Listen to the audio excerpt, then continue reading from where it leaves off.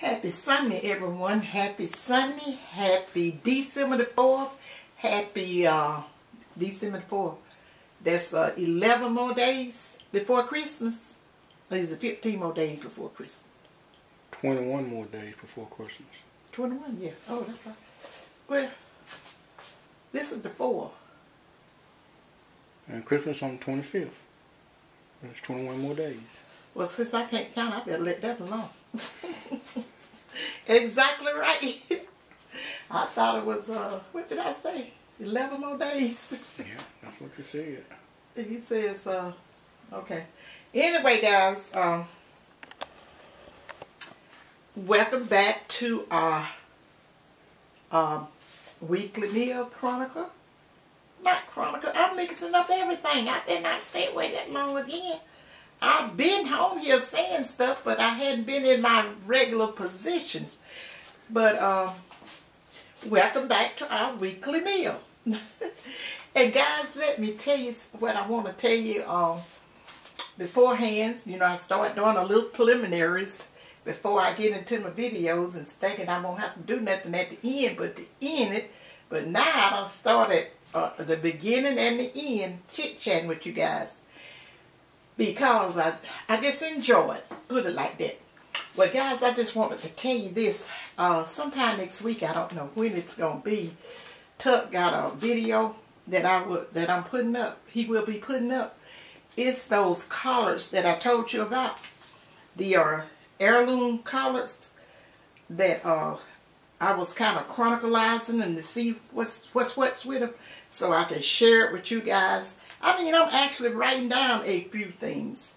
Uh, you know, I told you that I, I, had started them from seeds. I got them at Baker Creek, and I started them started them from seeds. And then, well, Brittany and I set them out there on the table because it was warm. It was in the fall, going towards the fall or whenever it was. And then the wind blew them all off. Oh, just killed my collards they had to start, they had, you know, came up pretty nicely and stuff. But, you know, they wasn't ready to be um, put in a pot or transferred over into uh, my grow bed. So I was like, oh my goodness. Yeah, when Chuck went out there and found them collars all broken and limp and this and that, I said, now some of them I lost, but I saved two plants and we had a six, two six fights when mm -hmm. There was two six yeah. fights of them. But then after he set them up, and I went out there and seen that it was, you know, three or four of them still hanging on. And I started to say, because Tuck had told me, he said, they, they, they gone, they messed up. But when I see them few little plants hanging on and all that stuff, I told him, I said, I'm going to try to save them. So what I did, I kept them in the little seed thing. I set them inside in the uh, little growth thing, whatever you call them, little pots that they be in where you start the seeds.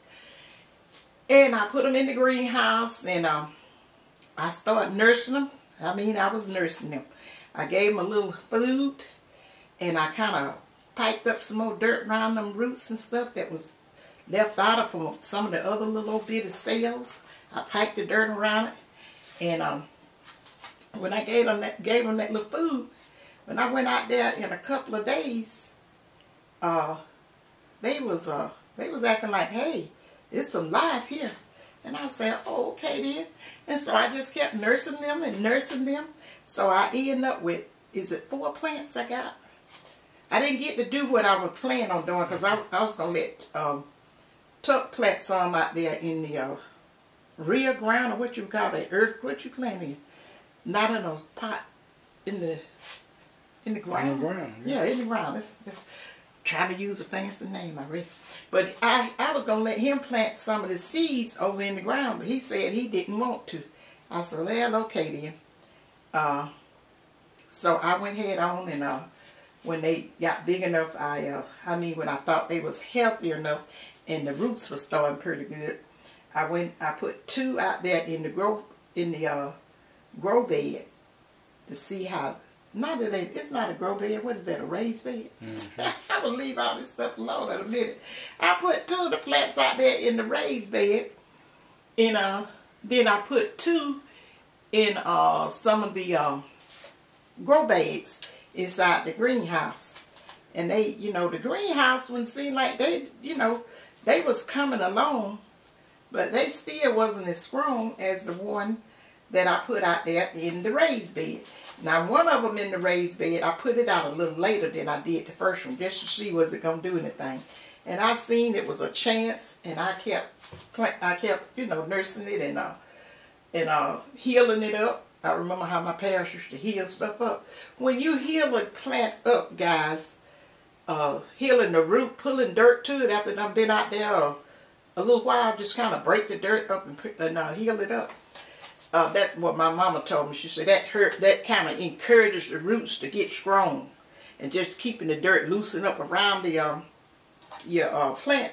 And so I did that. I had my little old bit of rake, little hand rake, and I was just a healing and doing all that, and putting some um, plant food and stuff on them. And I was putting some of that there. I got it from over there at um, Lowe's. And I can't think of what was the name that name of the stuff they called it. And it was in a squirt bottle. You know, it had a pump to it. And uh, they were saying just pump it around your plants that that was easier. I was gonna see how it was working, and then I, you know, I don't got the name of all this stuff, putting it down. When in probably a couple of years, when I'm ready to share something with you guys, when I think I got it down patent, not no real patent, but patented. I think that when I recommend something to you guys, it's a pretty good chance if you do it halfway right, it may work for you. You won't be losing stuff. And so I squirted some of the stuff around and then I kept it watered and all that. But let me tell you something, guys, what was funny to me. I That fish, I've heard a lot of the gardeners on YouTube be talking about the um, 511 and the fish emulsion, uh, especially uh, the uh, New Orleans gardener. Uh, she's up in Louisiana. I like listening to her. But she uses that fish emulsion and then she used something called super juice where she put the leaves and all of that scrapping and stuff from her garden and stuff over there. And she said that would give them um, a lot of uh, nitrogen. I think it is. Nitrogen. You know, I know uh, collards and stuff really need them leafy, uh, leafy stuff like that. It need the nitrogen. Not so much the stuff that's going to flower. You can start it off with it, the ones that's flowering a little bit. But um, if you put too much nitrogen to a plant, it'll have a lot of foliage and stuff. Because I, I used to um, deal with some people over at the farm co-op, going over there getting flowers and uh, uh, plants and stuff. And uh, back here when I was uh, probably about 20 years ago or better, when I used to be out there in the yard and working on it every summer. I mean, every spring, fall, whatever. I just loved it. So they told me a lot of the stuff that um, to do and what to use and all that, that kind of stuff. And I kind of remembered that and I brought it back to the forefront front, and I went looking for uh, for my collards and stuff. I went looking for stuff that was going to give it some uh, nitrogen. And I had told Tucker to use it on his, but he was like, uh, you weren't so interested in it, was you? You like this stuff will grow automatic. I was like, mm -hmm. he, he, that's the way he plant, put it in the ground and let it go. I was like, nah, you have to put some fertilizer to this stuff. Mm, the ground, the dirt just ain't got it. So anyway, I did all my stuff and he see that it was coming on pretty good. And he told me to mix him up some, of what you call it, potions? mm -hmm.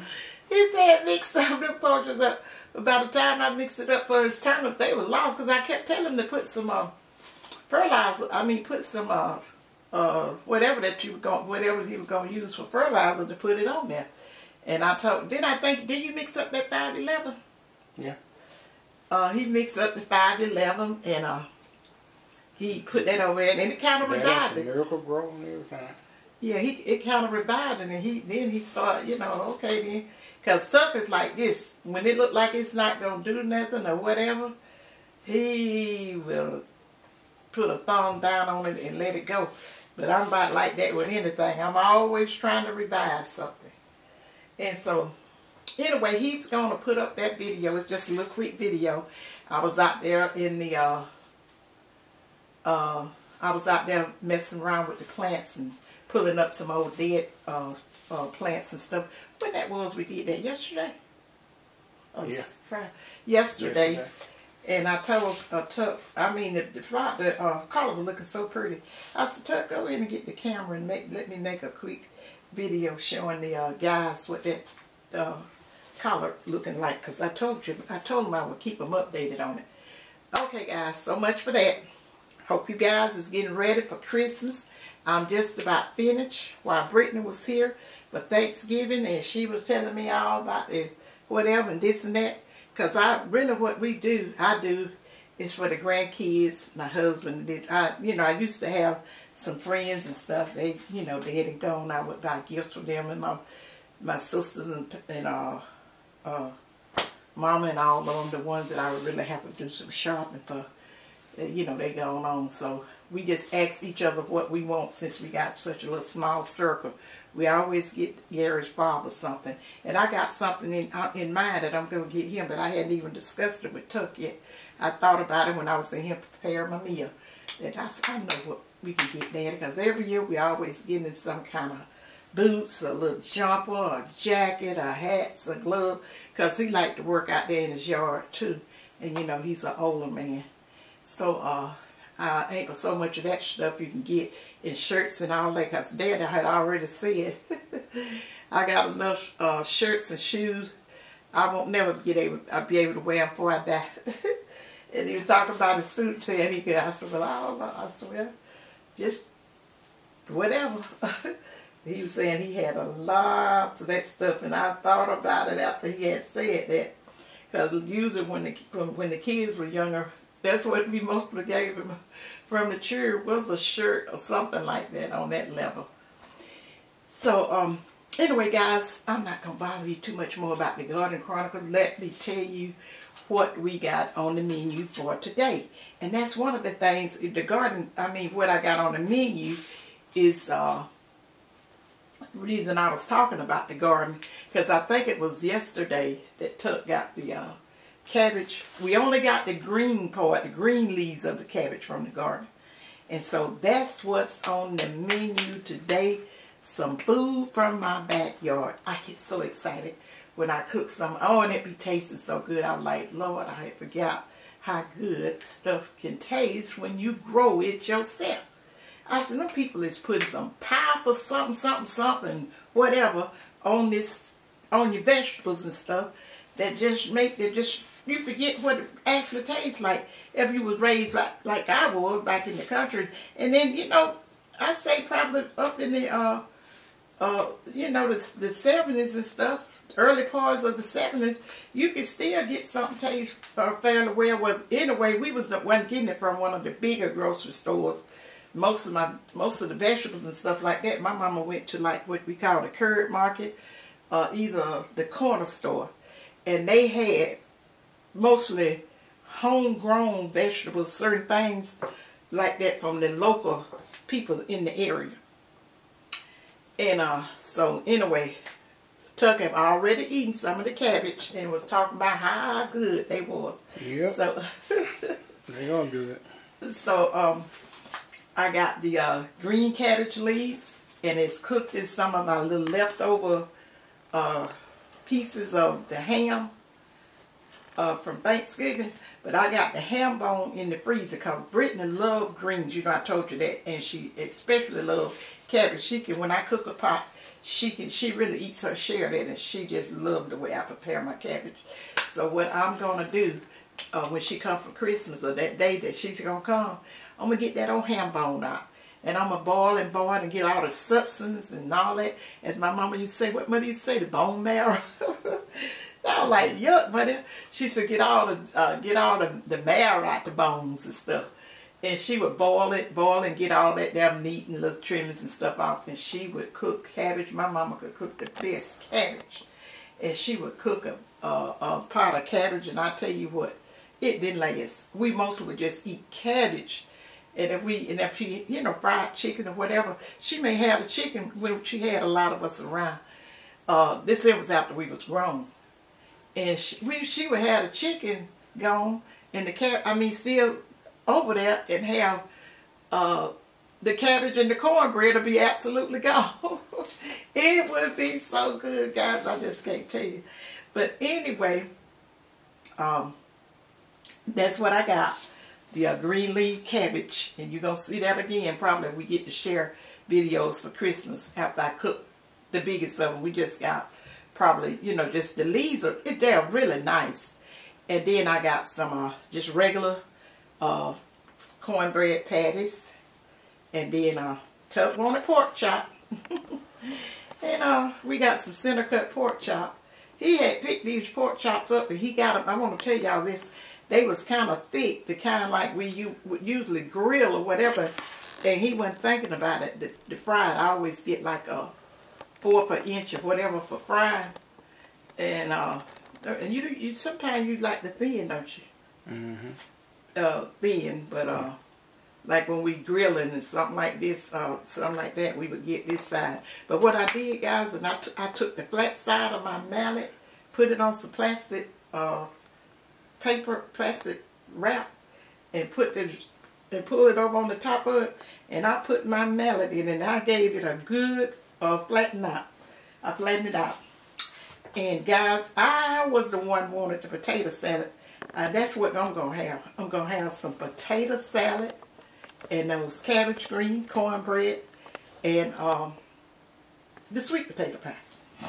Because, uh, you know, I told you guys, I don't really eat. I eat any other kind of pork, but ever since I was young, pork chop didn't like exactly like to digest with me. And I can eat some, I can eat a piece or two of whatever now. And I can eat, it broil or grill and stuff. It won't be no problem. And then I, I was saying maybe my mama, somebody was frying them. I too was frying it too a little too hard because tuck like his kind of hard. And I don't like too much, no kind of meat that's supposed to be soft and juicy. I don't like it hard, but Tuck like it is I fried but to his like it. And uh, so that's what I'm gonna have for dinner and Tuck gonna have it all. and you know, I am I hadn't got and yeah for dessert I got that sweet potato pie. You know guys, I shared it with y'all you guys in a little short video. I had made four sweet potato pies before Thanksgiving. I put all of them in the freezer and we have already eaten two.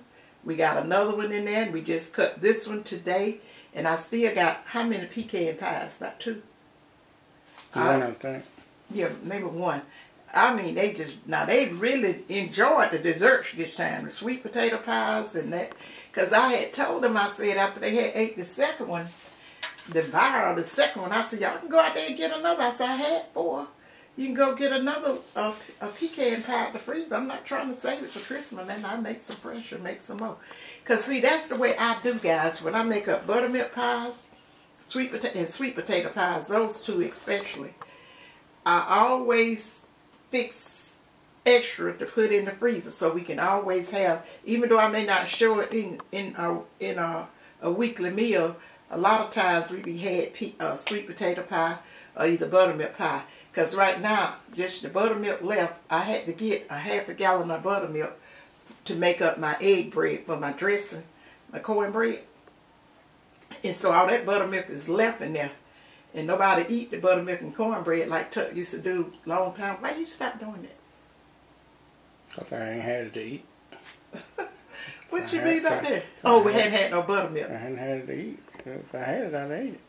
But I'm talking about we, oh, well, yeah, because I try to use up the buttermilk when I get it. Because I don't, you know, like the uh, uh, grocery is too expensive to waste. Yeah, I like buttermilk and cornbread.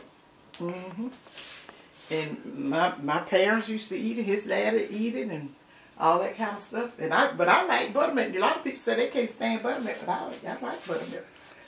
I don't see nothing yeah, wrong I'm not it. talking about eating buttermilk, then eating cornbread. I'm talking about breaking the butter, the bread up, and put it in the milk, okay. and eating it that way. Yeah, just for case someone was thinking different. oh, everybody say thinking different. But guys, that's it. Can you think of anything? And your teeth. Oh. I forgot, Gary. I think you like saying that. You be waiting for me to forget that. I done told him I had sweet potato pies, had it in the freezer, left over from Thanksgiving. And uh, is it another one out there? Oh, that's it. Uh, it's two more there. I'm not sure if they're both sweet potato or not. One of them probably a pecan because it's a pecan in there. and uh, so I don't know. It's a pecan and where? In the In there? Well, those two are the potatoes, I think. Oh, I thought it was because we Sweet ate. potatoes. Well, how many sweet potato pies We didn't eat but one. fix? We had one, and this is the second one. No, Brittany cut another pie. Oh, okay. Well, Uh, she we ate she ate two pies because I asked her did she want to take one. Normally she would want to take one back with her, but you know how everybody be around the holidays. I don't know why be trying to watch the weights and all that, uh, and, and don't want to eat too much. I say eat what you eat, whatever you go. I always eat everything in moderation anyway, so I always you know don't be worried about the uh, calories and stuff anyway because I'm I'm just not a overindulger like that anyway, but I eat whatever a little bit of anything that I cook that I want to eat and all that. And then I forget about it. I'll be worried about I shouldn't have ate it. If you're gonna eat it, don't be saying I shouldn't have ate that and uh, uh, I ate too much and all that. Those are two statements I get so tired of. Anytime somebody always saying that I shouldn't have had it, I said, you done bad lucky. you're gonna make sure it's still in your mind. It's gonna turn to a pound. Just say you ate it. You asked God to bless it. It was good. And I may not eat no more of it. Don't eat no more.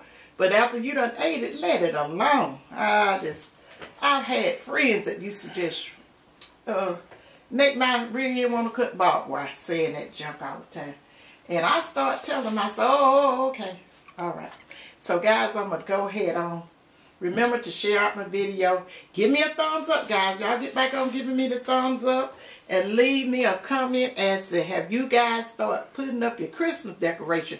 Well, you know, I always I try to ask for, ask for, I mean, say something to that I'll be kind of interested in.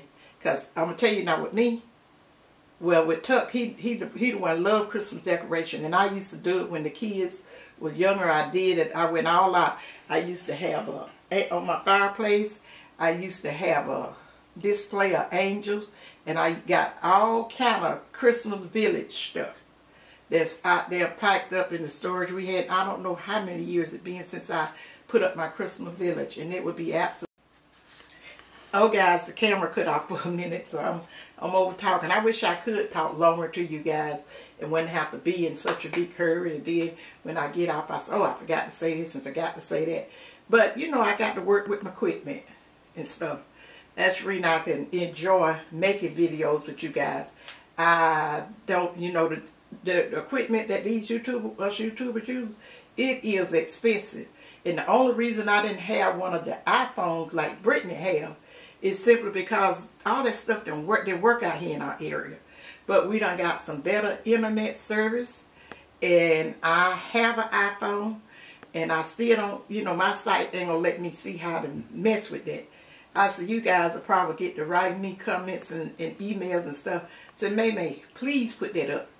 I'm gonna when I when I get to try to use the stuff, I'm gonna use it on. The, I you know I try to shoot videos on the camera every now and then. I don't do it uh, consistently enough that I can really learn. You know that it'll get into my get into my head. So you know when you get older, you will have to do it a bunch of times. When you were younger, you may not have to do it but a few times.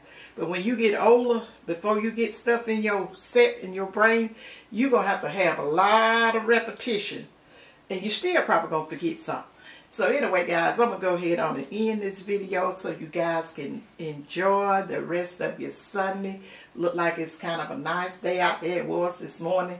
It was kind of foggy, but now the sun has came up and all that. And I may run down to General Dollars and kind of look around because I still got some time in the day wait before the people get out of church and cry things out. So, but guys, uh, remember what Mae Mae always tell you guys. To think positive, use your common sense, and Mae Mae love you guys.